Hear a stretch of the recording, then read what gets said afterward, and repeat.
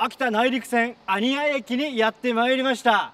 ここ安谷駅北緯40度の場所に位置していてご覧ください。駅舎がですね4の形ですかね。4を背中合わせにした形なので4という数字が非常にゆかりのあるつまり幸せの駅と言われているということでございましてまさに隣に幸せの鐘がありますからちょっと今回のね旅をスムーズに素敵な出会いがあもうありました。ほらご当地マンホール。これ熊さんですよ。熊牧場が近くにあり兄町でございますからまあ旅がね素敵なものになりますようにという願いを込めて鐘を鳴らしたいと思います。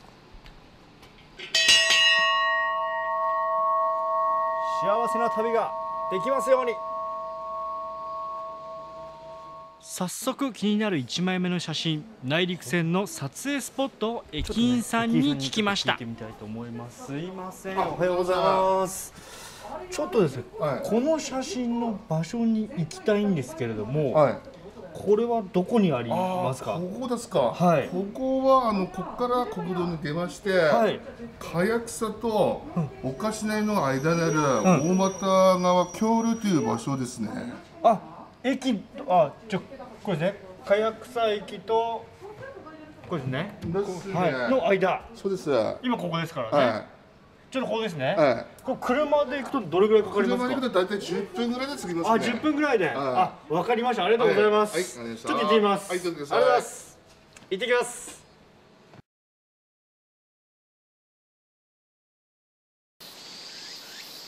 さあ、安谷駅の伊藤さんに教えていただきました。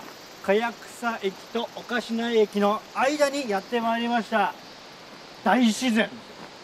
もう空気が綺麗だし、こちらには川がありますけれども、あの伊藤さんに教えていただいたんですけど、鮎釣りが有名で、県内、県外の方もいらっしゃると。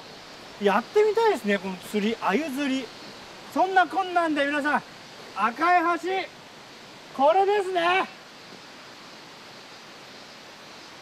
実はここ内陸線でも1位2位を争う人気の撮影スポットなんですさあ、ここです皆さん。私の後ろに赤い橋が見えます。せっかくなので、電車が通るタイミングで、ミスター自撮りの私、浅野がですね、チャレンジしてみたいと思いますよ。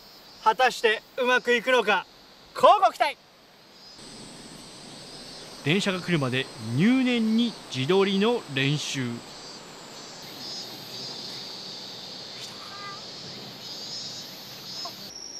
来た来た来た来た来た来た来た来たよ来たよどこだどこにあれ来たよおゆっくりだすげえゆっくりだ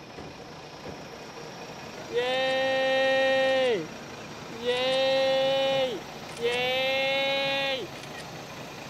どうもありがとう。イエーイ手振ってくれてる。いいんじゃないですか？ほら。しかも皆さんこれいろんな色があるらしいんですよ。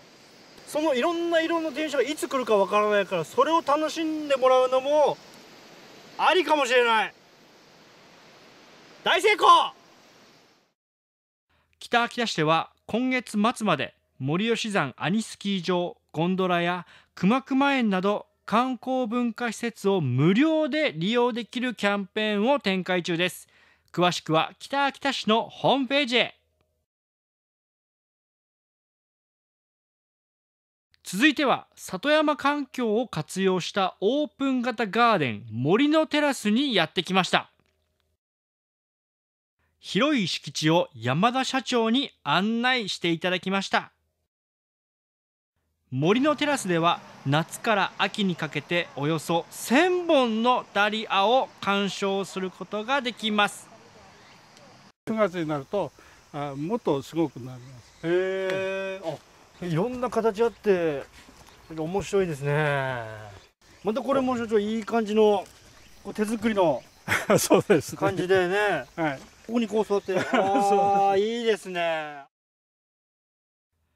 敷地の広さは東京ドームおよそ5個分。ダリア園のほか畑や田んぼもありホタルも生息しています。造園家である山田社長が里山の風景を残したいと2008年にオープンしました。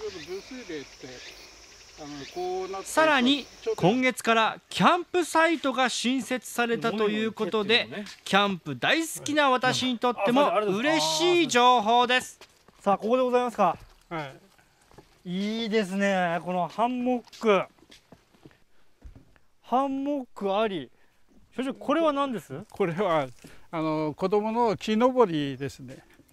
へえそうです。あこれ楽しい。えそれで木の枝に捕まえてこういう。ことですね、はいはい。はいはいやばいなこれ。やっぱアウトドア大好きですから。ああそうですはあもうそここにキャンプ張ってそこで火もしてい、はいはい。それでここであのビール飲むと。いやーもう最高ですね、はい。もうね今度こそテントを持ってきて。そうですね、はい。ぜひ来て、ええ。利用してみてください。もう遊びたいと思います。はい。はい森のテラスこれからの時期ダリアが見頃ですよ。